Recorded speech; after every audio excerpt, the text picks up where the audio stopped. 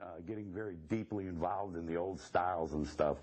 So that's what I'd like to show you, some of that uh, original old-time stuff with a little bit of the, uh, I'd say 50s and 40s style uh, addition to it with the old-time amps. I'll play an example of something here.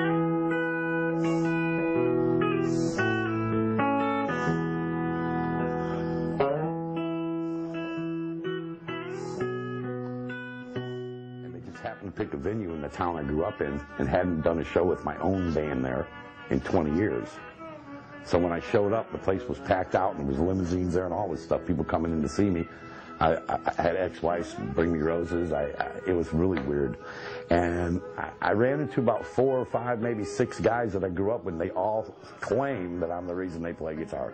That was the best part of the show for me to hear that because I honestly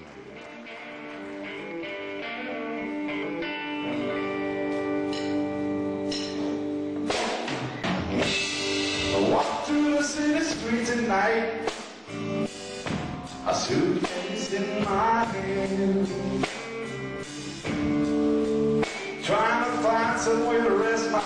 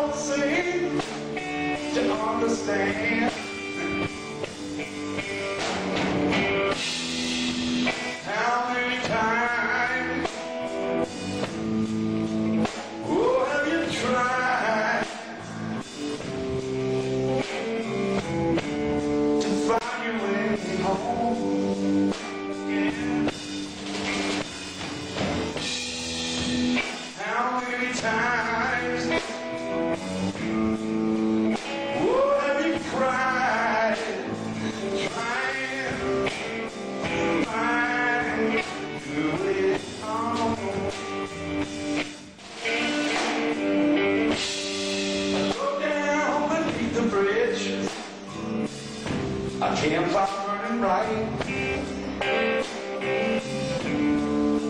A shed of wine and a few songs.